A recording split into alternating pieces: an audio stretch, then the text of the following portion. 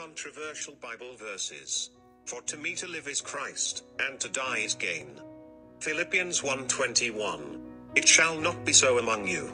But whoever would be great among you must be your servant, and whoever would be first among you must be your slave. For even as the Son of Man came not to be served but to serve, and to give his life as a ransom for many. Matthew 20 26 to 28.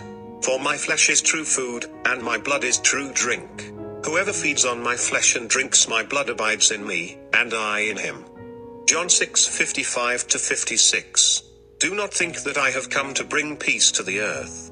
I have not come to bring peace, but a sword. For I have come to set a man against his father, and a daughter against her mother, and a daughter in law against her mother in law. And a person's enemies will be those of his own household. Matthew 10 34 36. Blessed are you when people hate you and when they exclude you and revile you and spurn your name as evil, on account of the Son of Man. Luke 6 22. Which of the two did the will of his father? They said, the first, Jesus said to them, Truly, I say to you, the tax collectors and the prostitutes go into the kingdom of God before you. Matthew 21:31. And if your eye causes you to sin, tear it out and throw it away. It is better for you to enter life with one eye than with two eyes to be thrown into the hell of fire. Matthew 18:9.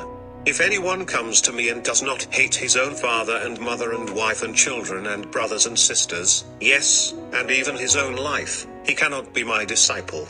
Luke 14:26. And Jesus said, Father, forgive them, for they know not what they do. And they cast lots to divide his garments.